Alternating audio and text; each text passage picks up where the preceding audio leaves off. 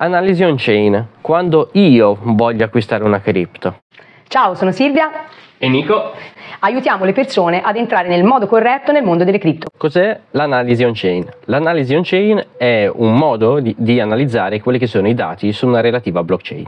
Generalmente si fa mh, mm, per una relativa moneta e lo si fa perché? Per evitare di buttare soldi a destra e a sinistra. Cosa possiamo vedere da questi dati? Possiamo vedere per esempio tutte le transazioni, le attività degli indirizzi e fondamentale come sono distribuite le monete. Questo perché importante? Perché ci aiuta a capire quanto una moneta può essere centralizzata o decentralizzata o quanto una persona ha il potere sull'intero mercato di una moneta. Questo perché? Perché se una, mon- una persona decidesse di vendere tutte le monete che ha, lascerebbe tutti gli altri in mutande. Quindi, quindi è fondamentale fare un'analisi on-chain in fase di acquisto, soprattutto se si vanno a prendere monete meme coin, cazzate coin, monete strane o monete anche nuove in uscita, appena uscite, è fondamentale. È fondamentale per evitare di buttare via i propri soldi. Se questi argomenti ti interessano, scarica il nostro corso gratuito che troverai nei commenti.